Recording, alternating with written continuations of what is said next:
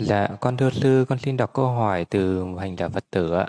Dạ, con kính thưa sư, xin sư cho con hỏi thế nào là như lý tác ý? Có phải chỉ có một vị đã giác ngộ hoàn toàn mới có như ý tác ý không ạ? Một người phàm phu bình thường làm thế nào để có thể như lý tác ý được ạ? Con xin kính tri ân sư ạ.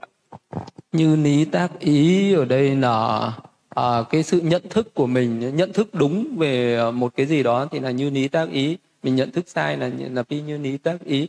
Như lý tác ý này thì nó cũng có ở trên cái phương diện tục đế và chân đế.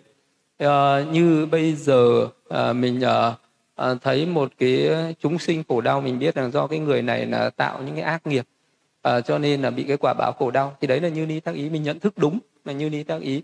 Còn một cái người mình thấy một người an vui hạnh phúc mình biết rằng người này là tạo những cái thiện nghiệp cho nên giờ được cái quả báo tốt đẹp an vui hạnh phúc. Đấy là như lý tác ý mình hiểu uh, hiểu đúng hay là khi mà các căn của mình nó tiếp xúc với các cảnh trần và mình uh, hiểu đúng cái bản chất của các cái sự vật đó.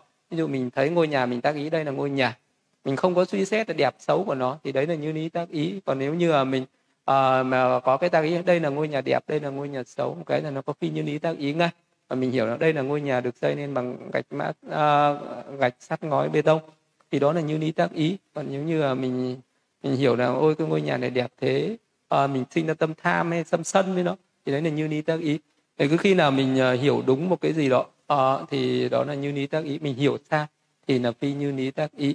Có tránh kiến là như ni tác ý tà kiến là phi như ni tác ý. Thì cái như ni tác ý uh, thì nó sẽ khởi lên những cái thiện tâm hợp trí tuệ. Còn phi như lý tác ý thì nó sẽ khởi lên những cái tâm bất thiện khởi lên si vô tàm vô quý phóng dật tham sân si. Là nó khởi lên với phi như lý tác ý người nào học Phật pháp thì mình uh, hiểu theo những lời dạy của Đức Phật là như lý tác ý. Còn là mình hiểu sai đi là phi như lý tác ý. Còn những người thực hành những cái pháp thiền uh, tuệ ấy, người ta thấy được những pháp chân đế như là sắc thọ tưởng hành thức thấy được cái pháp duyên khởi ấy, thì cái đấy là cái như lý tác ý đấy là cái như lý tác ý đi đến uh, đi đến cái sự uh, giải thoát. Cái như lý tác ý đấy mới là cái chánh trí mới là cái trí tuệ đi đến niết bàn được. Còn uh, một cái người mình chưa đắc các cái thiền chỉ quán thì vẫn có những cái ni như lý tác ý nó thuộc về cái pháp ờ, hiệp thế này. À, nó thuộc về những cái pháp chế định này những cái pháp tục đế thì nó vẫn tạo ra những cái công đức phước lành ờ, ở cõi nhân gian à, vậy thì có như lý tác ý nó thuộc uh, về cái pháp uh, thế gian có những cái niên lý tác ý nó sẽ đưa mình đi đến uh, suốt thế gian. Còn tùy theo cái khả năng hiểu pháp và thực hành pháp của mình.